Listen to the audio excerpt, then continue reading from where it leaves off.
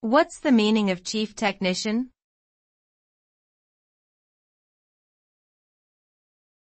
Chief technician.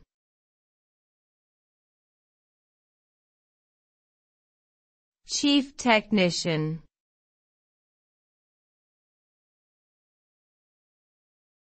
Chief technician.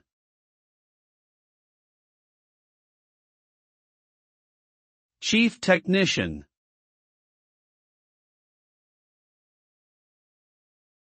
A chief technician is a skilled and experienced professional responsible for overseeing the technical operations within a company or organization.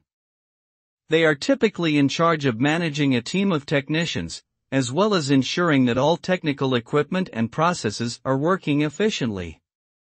This can include tasks such as maintenance, troubleshooting, and repair work. A chief technician is an essential role within many industries, including manufacturing, telecommunications, and healthcare. Their expertise and leadership facilitate the smooth operation of complex technical systems, allowing organizations to achieve their goals and provide high quality products and services.